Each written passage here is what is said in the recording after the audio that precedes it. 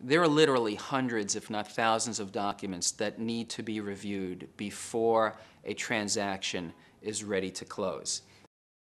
You know, we represent both buyers and sellers in real estate transactions, whether the real estate transaction involves the purchase of a co-op or a condominium, the purchase of a single-family residence or an apartment building, or the purchase and, or, or sale of a commercial office building in New York City.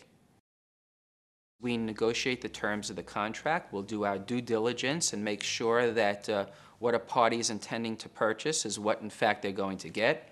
We review title. We may review financials. Uh, we'll make sure that all, all liens and, and defects in title are resolved. And then eventually, we'll, we'll close the transaction and provide a, a closing statement. Aside from landlord-tenant litigation, we have uh, a real estate litigation practice which involves uh, actions seeking declaratory judgment, actions seeking injunctions, actions for specific performance.